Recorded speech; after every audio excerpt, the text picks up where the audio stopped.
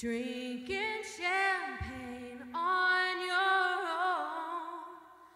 You don't have to be alone for Christmas.